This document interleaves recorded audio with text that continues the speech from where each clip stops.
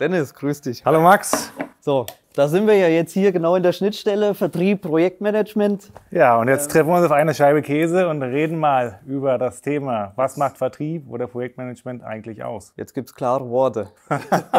Im Endeffekt ähm, geben wir uns ja die Hand, ähm, du an vorderster Front, ich im Endeffekt als Projektmanager in der Schnittstellenfunktion, ähm, extern zum Kunde, aber auch intern, was die Projektbearbeitung abgeht, bis hin zum Projektabschluss. Ja, das ist natürlich ein super reizvoller und vielseitiger Job, ähm, wenn, wir, wenn wir Kundenkontakt haben, ähm, uns vor Ort beim Kunden anschauen, wie sieht die beste technische Lösung aus, äh, die wir unseren Kunden bieten können, wie können wir ihnen das Leben einfacher machen, gleichzeitig aber auch für einen reibungslosen Ablauf intern sorgen, äh, mit allen Schnittstellen, die dazugehören, Software, Konstruktion, Produktion.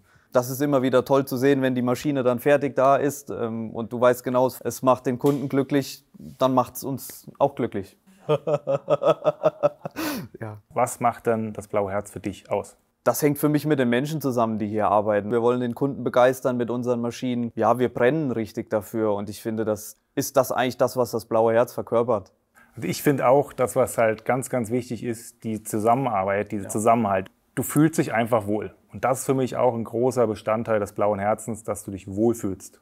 Max, was würdest du denn Bewerber empfehlen, was müssten sie mitbringen? Teamgeist, Gestaltungshunger und ähm, Jetzt fällt mir nichts mehr ein. Und das blaue Herz natürlich auf jeden Fall.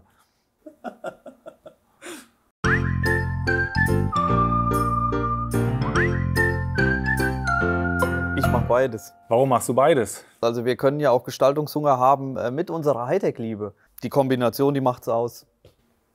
Was hast du? Anruf, oh. Anruf, Anruf. Ja. Anruf, glaube auch, da sind wir uns einig. Ne? Ja, wir brauchen persönliche Emotionen. Absolut richtig. So macht Spaß. Wenn ich jetzt das Falsche sage, wird meine Frau mich umbringen. Gell? Ach, ich mache ich mach beides. Ich habe äh, geordnetes Chaos. Das Genie quasi. Das, genau. ja, ich habe die Ordnung. Meine Frau wird da was anderes sagen, aber auf der Arbeit die Ordnung. Pippi, oh, Pippi. Pippi, du auch. Wir Pippi. machen uns die Welt, wie der Kunde sie bestellt. Dem ist nichts hinzuzufügen. Gut, Dennis, ähm, jetzt haben wir uns hier getroffen auf eine Scheibe Käse. Was würdest du sagen? Ja, wenn ich mich nicht schon hier beworben hätte und hier arbeiten würde, dann würde ich mich jetzt bewerben. Wisst ihr Bescheid. Gut, mach's gut. Ciao.